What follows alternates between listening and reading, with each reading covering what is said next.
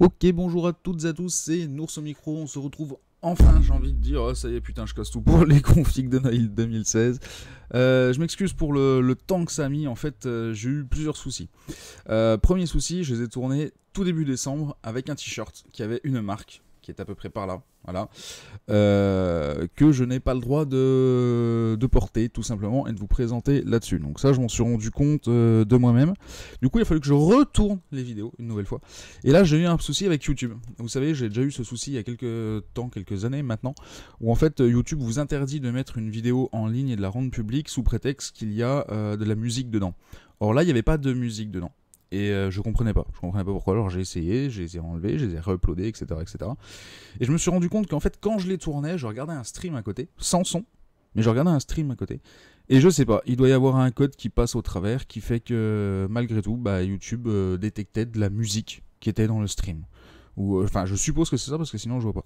Donc du coup, je les retourne une nouvelle fois Malheureusement, Noël est passé, mais je les upload vraiment rapidement dans la foulée, dans la foulée, euh, en espérant que, bah, que, les conseils que j'ai pu vous donner au préalable avant sur Facebook pour ceux qui m'ont contacté euh, ont, pu, vous permettre euh, bah, d'avoir les petits cadeaux de Noël qui vont bien. Voilà. Donc euh, j'avais fait une liste de 2 trois petits trucs, histoire de faire ça bien, qu'il fallait que, je vous, dise. Donc avant de partir sur les configs euh, dans leurs détails, pour ceux qui découvriraient, pour ceux qui ne sont pas encore habitués à ce type de, de vidéo de présentation, je vous rappelle que je fais au minimum deux fois par an des séries de configs, donc généralement c'est à l'été et à Noël, parce que c'est là généralement que les gens s'intéressent à changer de config. Pourquoi? Parce que c'est les vacances, c'est Noël, on a un peu d'argent, etc. On a envie d'en profiter et de se faire plaisir avec un beau PC. Donc, savoir comment ça se passe. Concrètement, les configs, je les fais, je vais vous les présenter en live sur le site LDLC. Je ne suis en aucun cas affilié à LDLC, je ne perçois absolument pas d'argent euh, pour vous présenter des configs que je fais sur LDLC. Et euh, tout simplement, je vais même vous dire le, truc qui, va faire que vous allez comprendre euh, que je ne suis pas affilié à eux. Le prix des configs que je mets, là, vous voyez, donc ça va être des configs de 500 euros, un peu plus de 500 euros jusqu'à 2000 euros.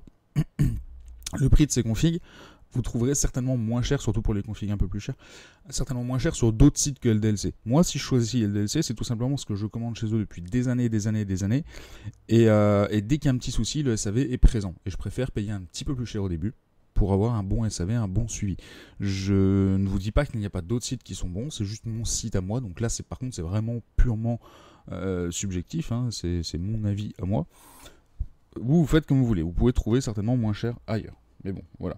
Donc ça, c'était par rapport à LDLC. Autre chose, euh, de manière globale, les configs sont présentés sans graveur ou lecteur de DVD. Pourquoi? Parce que, bon, déjà, ça vaut que 10 balles. Si jamais vous voulez en rajouter un, il faut juste savoir, faut rajouter 10 euros. Attention, ça ne se rajoute pas sur tous les boîtiers, notamment sur les boîtiers que j'ai mis vers la fin, par là où il n'y a pas de, de, place pour les graveurs. Bah, tout simplement parce que je suppose la plupart du temps que vous upgradez votre config, donc vous pouvez récupérer le graveur que vous avez déjà et le mettre dedans. Et puis autre chose, c'est de moins en moins utile. La plupart des choses se font par USB maintenant et euh, il y a de moins en moins d'intérêt à avoir un lecteur ou graveur de DVD. Tout simplement. Voilà. Ensuite, il n'y a pas de système d'exploitation, il n'y a pas d'OS. Alors, pourquoi? Parce que si vous me suivez, et si vous écoutez mes conseils, vous avez acheté une fois un OS, un Windows, version boîte, non OEM, donc vous pouvez réutiliser la clé d'activation autant de fois que vous voulez, du moment que vous avez une seule clé d'activer à la fois. Donc quand vous changez de PC, vous pouvez reprendre votre Windows d'avant et le remettre dessus. Ça, c'est si vous écoutez mes conseils. Si vous achetez un Windows OEM, légalement et même techniquement, il est fort probable que vous ne puissiez pas le réinstaller puisqu'il est probablement lié euh, à l'adresse de votre carte mère, adresse MAC de votre carte mère lors de l'activation. Voilà pourquoi il n'y a pas de système d'exploitation et pourquoi il n'y a pas de graveur DVD. Ensuite, euh, le début des configs en fait sont des, boîtiers micro ATX, le fameux N200 de chez Cooler Master. Euh, pourquoi là aussi? Tout simplement parce que c'est un boîtier qui n'est pas cher mais qui est pratique, qui permet tout de même de mettre des grosses cartes graphiques et qui fait très bien son job. C'est une question de subjectivité, euh, c'est juste du micro ATX, euh, donc faites attention si vous le prenez que la carte mère soit bien micro ATX. D'une manière globale, ces configs ne sont que des conseils. Donc là, j'en arrive euh, au message à toi, pour toi. Oui, Jean-Kévin, ce message est pour toi. Toi qui es le pseudo killer noob de la mort dans les jeux, tu vois. ce ne sont que des conseils. Si tu n'as pas assez de stockage, mon grand, tu peux en rajouter. Très bien. Je te conseille aussi, euh, si tu mets un SSD, de ne pas mettre que Windows dessus, ce qui est totalement inutile, puisque tu vas juste gagner du temps sur le démarrage de ton PC. Si tu as un PC pour jouer, je te conseille de mettre tes jeux sur le SSD. Donc du coup, prendre un SSD de 64 Gb pour mettre Windows dessus, je vous laisse faire la fin, ça sert à rien. Ok, on est d'accord. Voilà, donc en fait, euh, j'insiste là-dessus parce que j'ai eu plein, plein, plein de remarques, de commentaires de Jean-Kévin de la mort noob qui tue, euh, qui doit avoir à peu près 14 ou 15 ans. Et euh, oui, le, disque dur c'est trop petit pour jouer. Bon, écoute, mon grand, bah, tu rajoutes 10 euros, t'en prends un plus grand, d'accord Le boîtier est moche. Très bien, t'en prends un autre, c'est ton choix. C'est juste des conseils de config que j'ai déjà montés. Ce sont que des configs que j'ai déjà montés, qui existent, que tous les composants vont ensemble. Et je sais que ça marche bien et je peux à peu près vous dire les résultats par jeu, par config grosso modo. Voilà, qu'est-ce que j'avais d'autre euh, à dire euh, à Jean-Kévin? Jean-Kévin, euh, bah, si tu me dis que c'est trop cher, que tu as moins cher ailleurs, félicitations toi. Si tu me dis que le, copain de ta grande sœur va te monter un PC parce qu'il travaille là-dedans depuis 10 ans, bah, c'est très bien, merci. Qu'est-ce que je peux te dire d'autre, Jean-Kévin Bah voilà, j'ai à peu près fait le tour. Alors après, pour les non-Jean-Kévin, je vous invite à aller voilà, par là.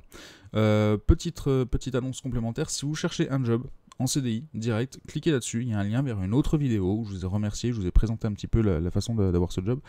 Euh, j'ai la chance d'être dans une boîte qui recrute continuellement sur toute la France et les dom donc n'hésitez pas à aller cliquer là-dessus pour avoir plus d'informations.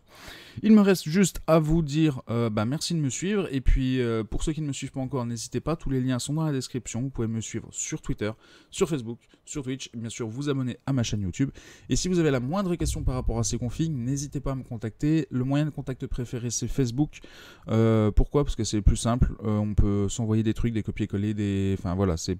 Pour moi, c'est Facebook le plus simple. Il n'y a pas de souci là-dessus. Je réponds assez rapidement, alors beaucoup moins rapidement qu'avant. Pourquoi? Parce que maintenant j'ai une activité professionnelle qui me prend pas mal de temps.